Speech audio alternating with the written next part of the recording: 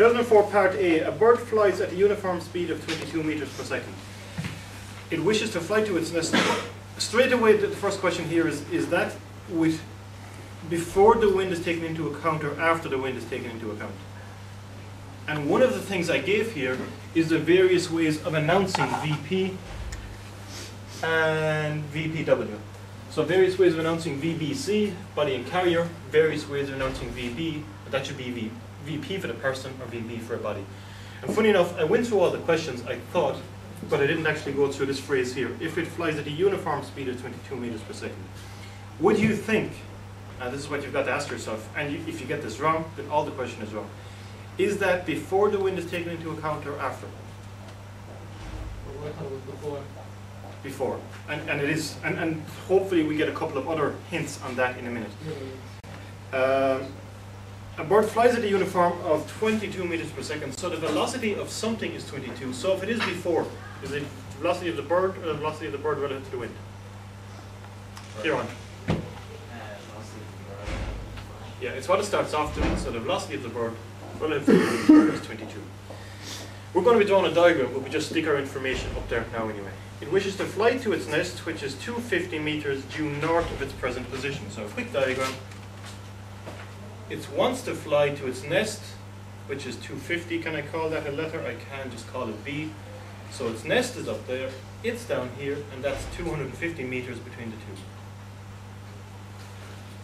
In fact, I want to get rid of that 250 because this is going to be a velocity diagram.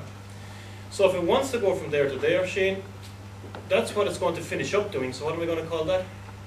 Uh, VB. Velocity of the bird. That's what. That's the one piece of information you do know, so you can stick it into your diagram. Now what you've got to figure out is what direction it's going to head off at. And in order to work that out, you have to know one other piece of information, which is The wind direction. the wind direction. So we go back to our question. There is a wind blowing from the southeast at 18. So just to get a little figure for from the southeast means it's blowing northwest.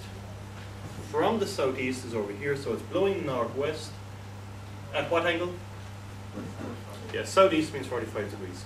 So basically, that's the velocity of the wind. So I can get rid of my axis here.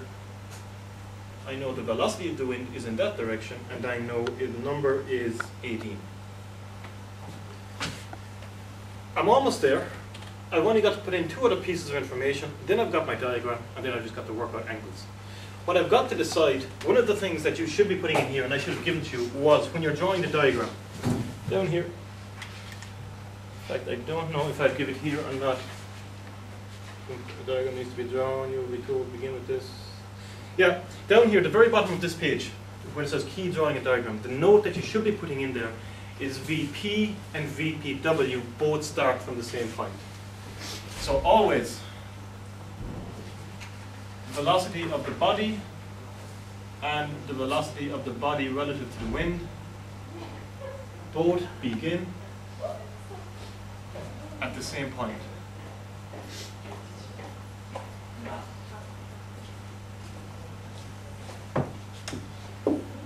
Right, where are we? Yeah, we want to draw a diagram. Diagram means we need a triangle. So we need three lines. We've got one. We know the velocity of the wind will be going into our triangle. What we've got to ascertain is where it fits into our triangle.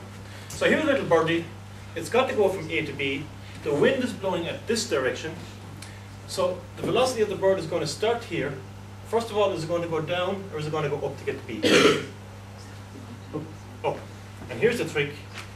Kieran, back to you again. Is it going to start off going left or is it going to uh, start off going right? Why? Yeah, basically to counteract the wind. If it started off here and the wind is blowing this direction, it'd never end up going straight across. So it starts off going in this direction and you keep going up how far? Until we can finish with the wind. Very good. Until you can take that vector here and stick it in.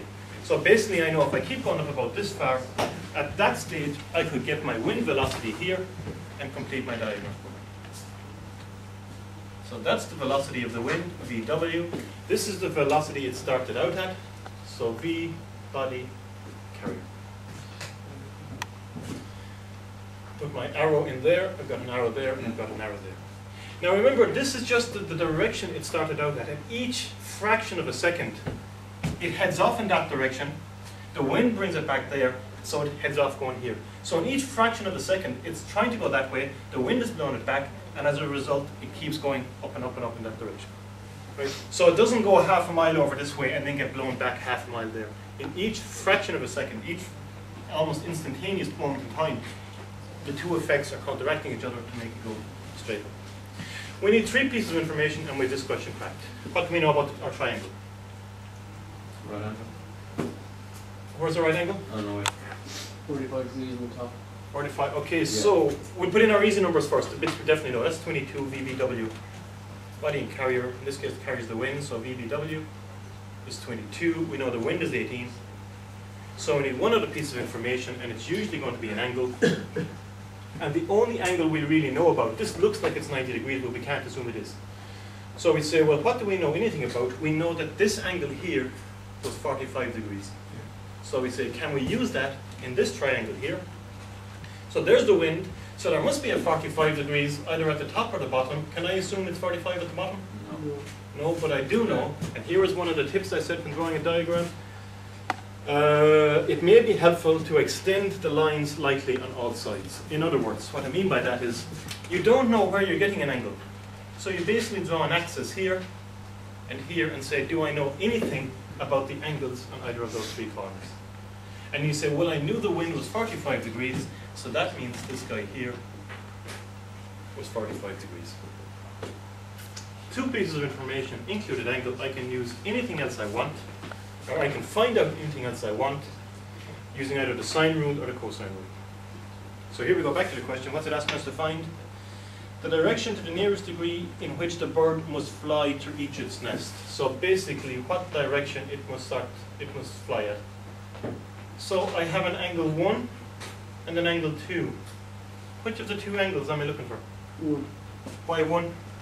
because we need to have it in terms of east to north. All right, are always in relation to the x-axis. So mm-hmm. usually the expected answer will be this angle down here in relation to the So you couldn't put it in north, some man doing east.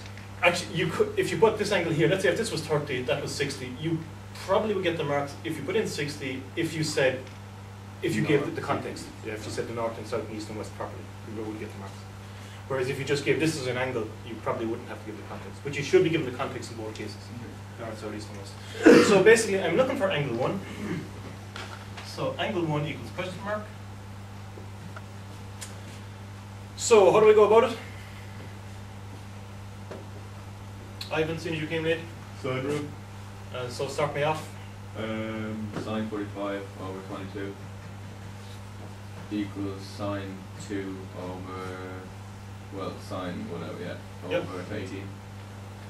Eighteen, Over 18, yeah, and I really should put a number Yeah. out there. Just yeah. So you'll, uh, I won't insult you by doing it, you'll do all of this and you get that angle 2 is equal to which? Twenty-five point three five degrees. So my angle number 1 equals, in fact, no, you gave me the wrong angle, you gave me the... Oh yeah, just look at the solutions here, the solutions, they give the angle alpha as 35 degrees inside. And they actually gave full marks for that, but it would be more correct to give it out here. So if it's 35 inside, it's got to be what outside? fifty-five. It's, okay, let's make that round that off. 35 degrees, so this is 55 degrees. So that's your answer. And again, to be a little bit more accurate, if you want to put notation on this, what is it? East north, east fifty-five degrees north. You can say east, and then you go 55 degrees north. Uh-huh, or how else would you say it? North, Thirty-five thirty-five, degrees east. or thirty-five degrees east of north. Yeah. Well, again, sticking with here, it's 55 degrees. If we started off with the 55 degrees, what? North of east. the reason I'm giving you that, and the reason I'm going through the trouble of putting it both ways, is sometimes the questions can give you either of the two notations. So you've got to be familiar with the way it's written both ways, and that both makes sense. Okay? It's always relative to the x-axis, so the 55 degrees, but there's two ways of talking about the 55 degrees. Okay?